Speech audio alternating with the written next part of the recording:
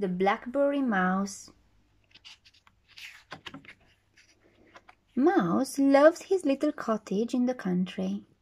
He loved it because it was warm and cozy, and just the right size for a mouse. Most of all, he loved it because there was a big blackberry bush in the garden, and every year he had a bumper crop of ripe, juicy blackberries. One summer, Mouse's blackberries were even bigger and juicier than usual. He began picking right away, and he was already hot and bothered when Sparrow came by. What nice blackberries! May I have some? chirped Sparrow. They're all mine, said Mouse. Go away. No need to be rude, said the little bird, and she flew away. Mouse's paws were beginning to ache from all the hard work when he caught sight of Squirrel. Can I have some of those juicy blackberries? Squirrel asked. If I give you some, there will be less for me, Mouse replied. So Squirrel went away empty handed. Mouse had stopped to have a rest when Rabbit came hopping through the grass.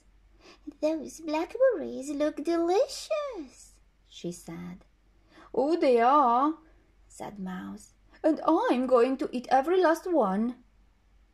Then you will most certainly be ill, said Rabbit, and off she went.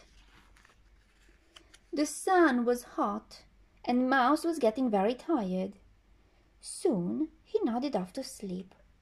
He didn't realize that someone had been watching him. It was Mr. Fox. When he saw that Mouse was asleep, he sneaked over Mouse's gate and crept closer and closer until he could pick up Mouse's basket. He was just creeping away when snap! He trod on a twig.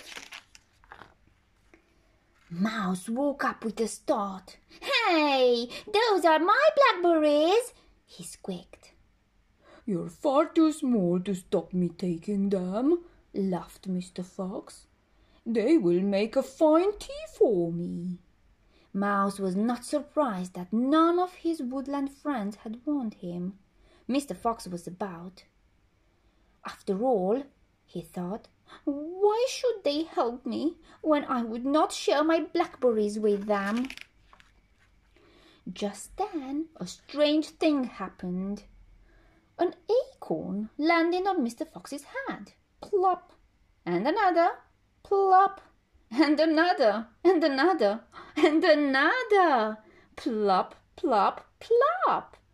Mr. Fox dropped the blackberry basket and ran away as fast as he could.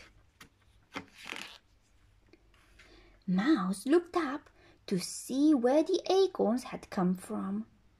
And who do you think he saw up in the old oak tree? It was Squirrel and Sparrow and Rabbit. We couldn't let Mr. Fox steal your blackberries, said Squirrel. Even if you didn't want to share them, added Sparrow. Mouse felt very ashamed. Then he had an idea. That afternoon, Mouse invited everyone to a blackberry feast. He worked all day to get it ready. There was blackberry juice to drink, blackberry jam, blackberry jelly, blackberry crumble, and lots and lots of little blackberry tarts. The other animals saw how, said how delicious it all was. Perhaps, said Mouse, blackberries are nicer if you share them after all.